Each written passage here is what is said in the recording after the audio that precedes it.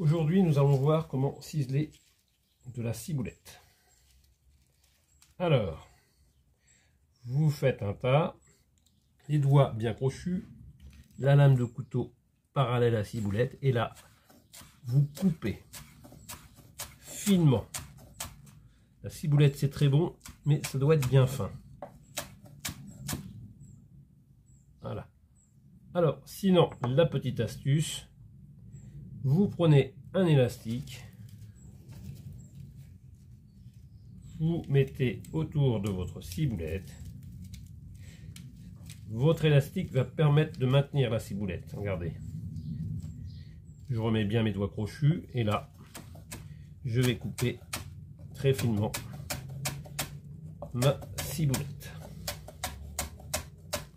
J'arrive près de mon élastique. Hop, je recule. Et je continue.